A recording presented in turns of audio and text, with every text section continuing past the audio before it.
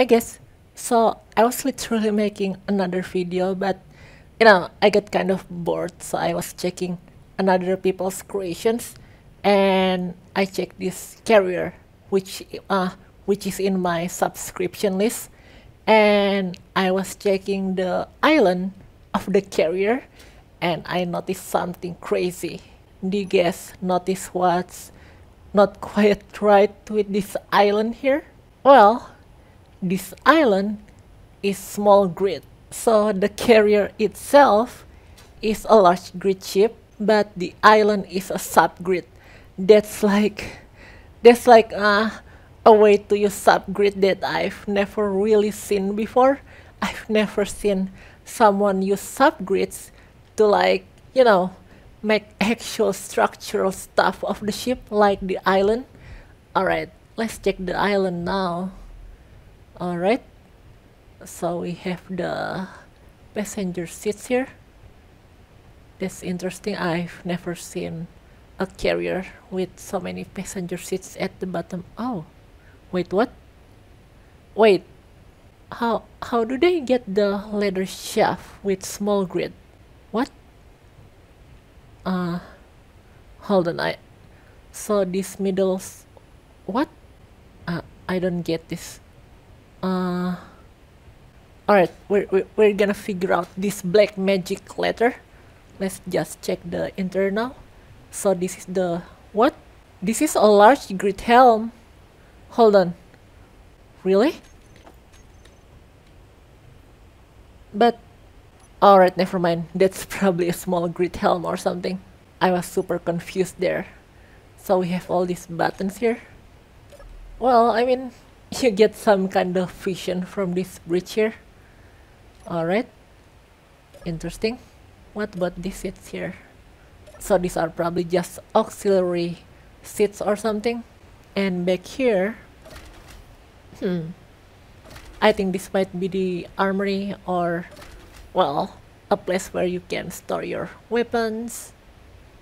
And this is like the balcony of the island or something. Alright, let's go down to the inside the hull now. Oh wait, hold on. There's timer blocks, programmable blocks, and LCD panels. Alright, what's back here? Alright, this just another entrance. Alright, so how did they get this uh, large grid ladder shaft on a small grid structure? This is very weird. Uh, see, this this is a large grid sliding door, and it's somehow it's wrapped in a small grid structure. I'm really confused now. Hold on, let me figure this out. Oh, by the way, the ship is the KNG class extract carrier by Kongbyg and the PCU is 25,278. Alright, let's figure out this uh, small grid black magic here.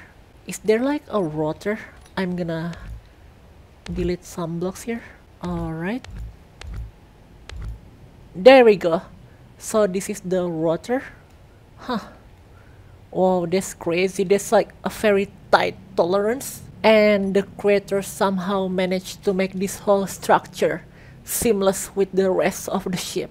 That's pretty cool actually. I mean, I totally won't recommend doing something like this for stability and practicality reason. But if this is something that you really wanna do then, well, I guess you can do it. So I guess one of the downsides of doing something like this is that you won't really have air tightness inside the structure but still though that's pretty cool uh, so there's a slight problem I don't have control over the whole ship from up here so because this is a subgrid you cannot really control the actual ship structure from in here so that's kind of a problem well I guess if you meant the island to be like a place to look for, you know, ships that are landing and taking off from the carrier, then that won't be too much of a problem. Or maybe there's like a scripted solution or something. Alright, let's crash the ship now. I'm not controlling the ship by the way, I'm just letting it fall. because I cannot control it from up here. I want to see whether or not the subgrid is gonna clang or not. Here goes. Ah, oof. Oh no. I got I got detached from the whole structure. That's amazing. Alright. Uh hold on. I wanna see the damage. Oh. That's a lot of damage. So yeah, that's the KNG extract class carrier.